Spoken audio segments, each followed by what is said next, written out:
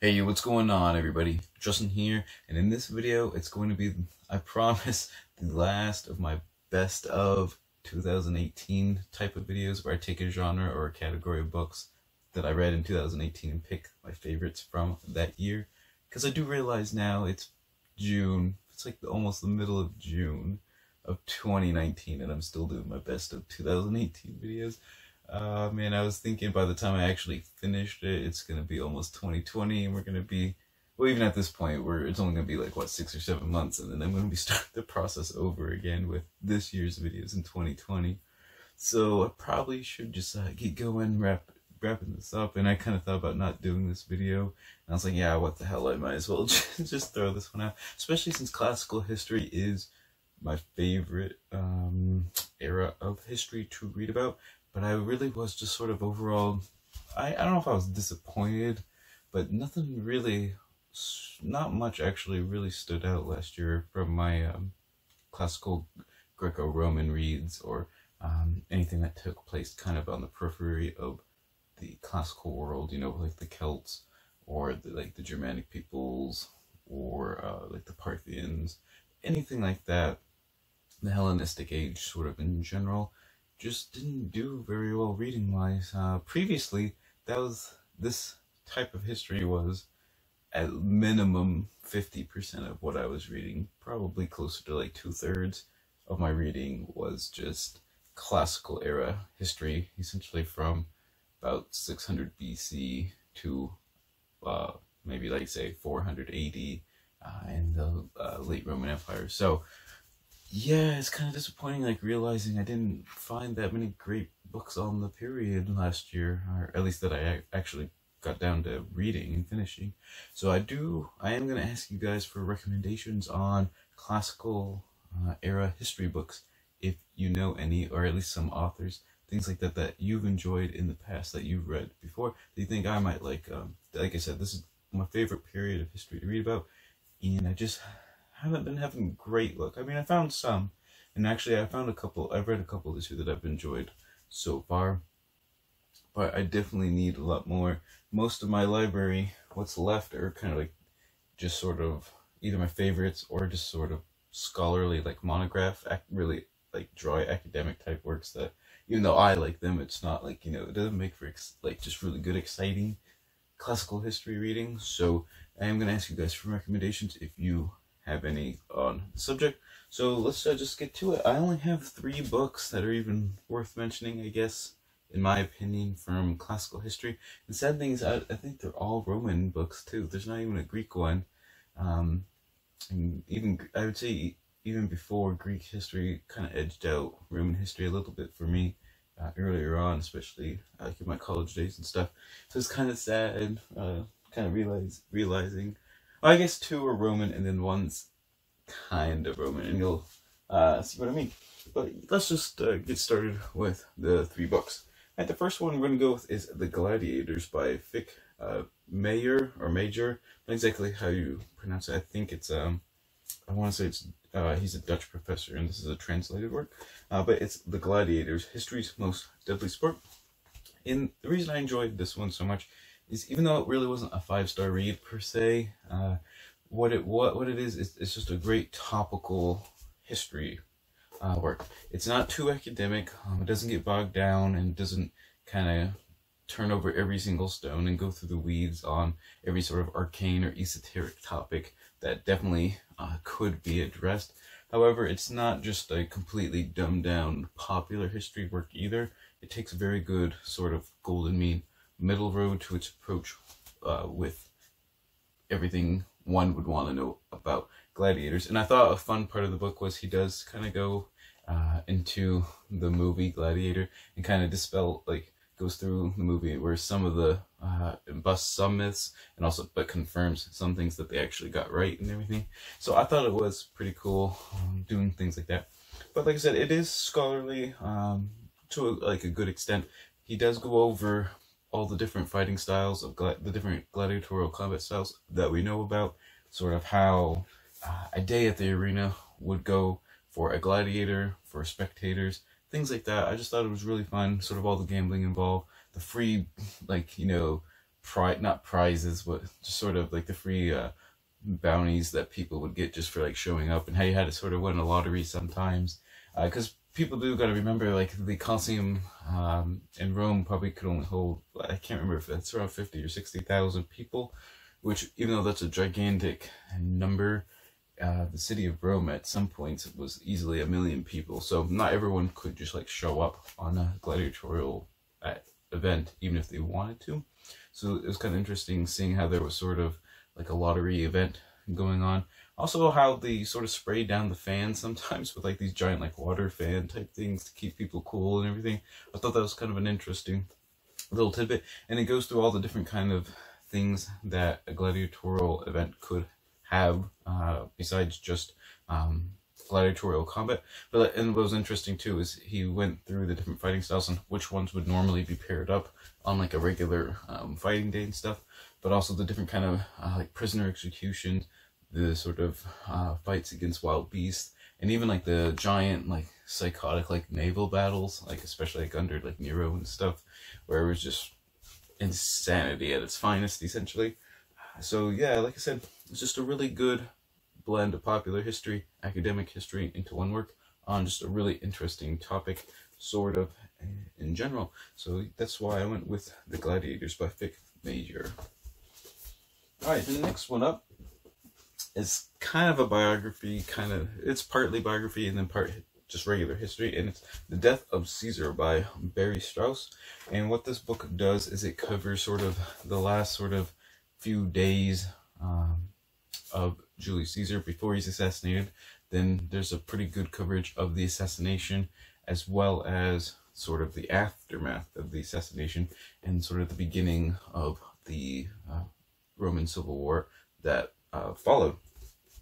And what I did like about this one is kind of like in a similar sense in that it's it's definitely more popular history per se, but it's very readable.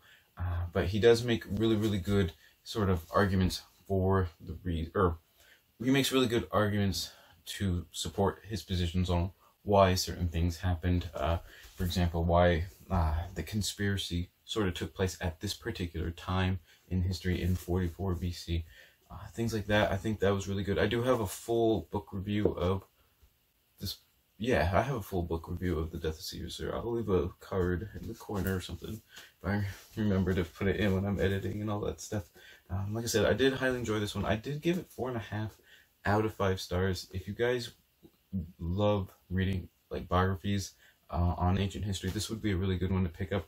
And that it's a biography and part it's got a lot of biographical elements, but it's not just like a straight up biography. So I thought that was kind of interesting. So if you enjoy reading about the fall of the Republic, you really enjoy reading about Julius Caesar, uh, things like that, I think you really enjoy this book. I will say the highlight of the book is I definitely learned a lot more about sort of the aftermath of sort of the conspiracy right after uh, Julius Caesar was assassinated.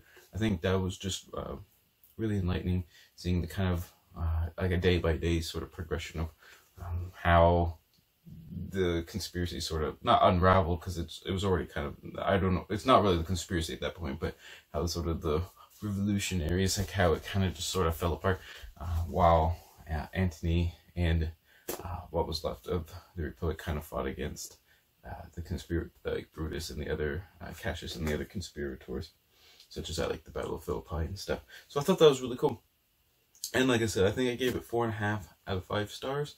And I highly encourage you guys to check this out if you're interested in reading about the death of Caesar or the absolute fall of the Republic. Alright, and that leaves one book, and this is kind of a Roman-ish book.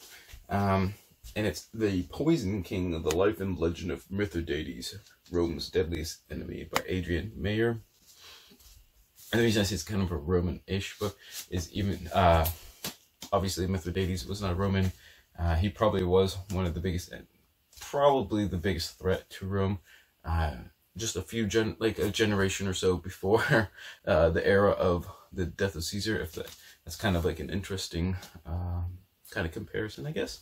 And even though Mithridates is uh, the king of Pontus, obviously by being Pontus during like the classical era of the the fall of the Roman Republic, it's got a lot of Roman history in it, obviously.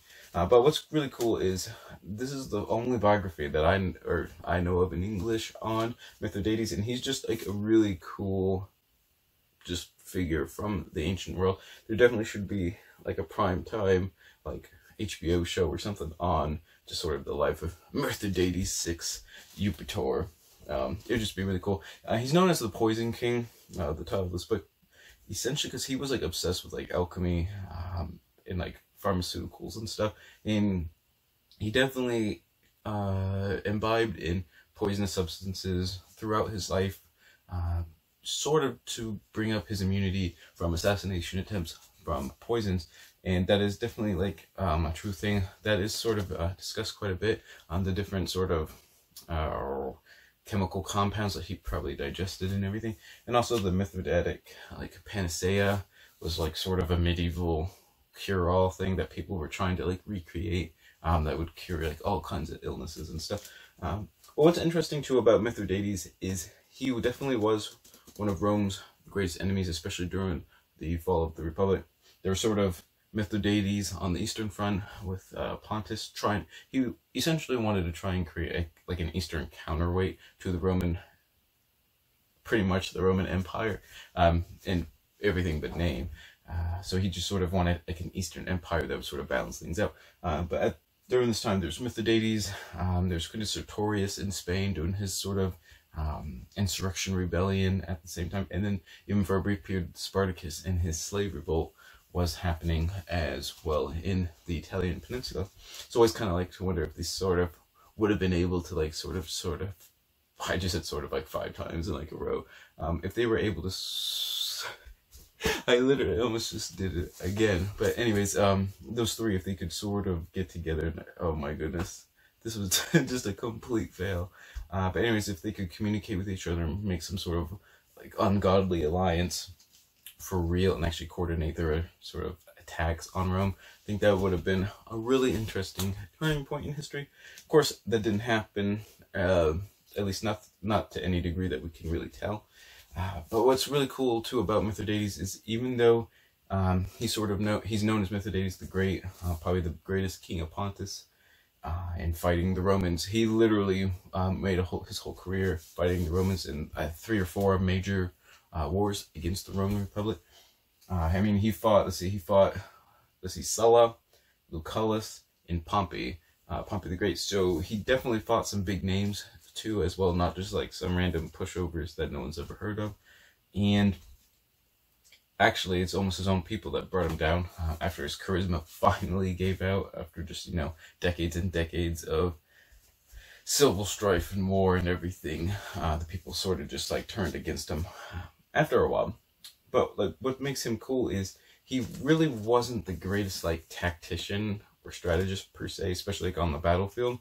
However, it was like I was kind of mentioning earlier, his charisma was so great that every time he got knocked down, he would always found a way to sort of just like slip away and like live to fight another day, and always just like rebuild his power base. And uh, for most of the most of uh, the time of his reign, the people really did uh, love him. He was also known for uh, a really giant, a really giant, a giant Roman massacre, and that's important for uh, several reasons. Basically, it was the logistical way that he was able to coordinate an entire like um, execution of Roman like merchants and prominent citizens and stuff um, in his kingdom all on the same day throughout his entire um, realm.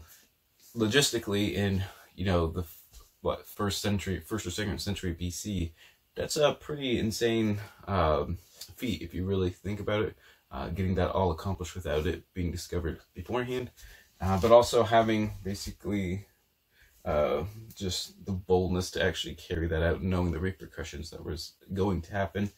Um, I just thought it was, you know, Mithridates is just a really interesting figure and a definitely, definitely uh, kind of like an underdog who needs more light shed on him in his sort of basically his whole reign in the sort of the kingdom of Pontus, sort of in general. But anyways, that's part of that's pretty much why I love uh, the Poison King. This book also has really good resources, lots of good cited material, bibliographies and stuff, as well as um, some colored plates and everything. um, some illustrations. If I can, and I can't remember if there's maps in this one or not off the top of my head. I'm sure there are some. Um, but like I said, just this one, this edition is just like a really high quality book and everything. And I just really enjoyed reading about Days. Love finding books that are on sort of niche subjects or uh, topics or characters or events that are um, sort of glossed over a lot of the time and just like really good examinations of uh, these figures. So like as you can see with my three books, uh, you know, just a topical history of the gladiators, um, a book not necessarily on Julius Caesar, but just on the event of his assassination, and then a biography of Mithridates uh, Eupator. So I thought that was pretty cool. Um, definitely my favorite classical history book of 2018 right here, and I need to pick up some of her other uh, works as they sound really interesting. So there you guys have it. Those are the three my three favorite books on the classical era from 2018, or actually they're not from 2018, but that I actually read in 2018. So like I said, give me some recommendations if you have any on you know Greco-Roman, Celtic, uh, and, you know, barbarian uh, uh, type books, I guess, uh, that are his, uh, historical nonfiction. I would definitely be glad to check some of them out. Uh, but yeah, whatever you guys um, read, even if you don't read classical history, don't enjoy it, whatever you guys do read, always remember, read victoriously.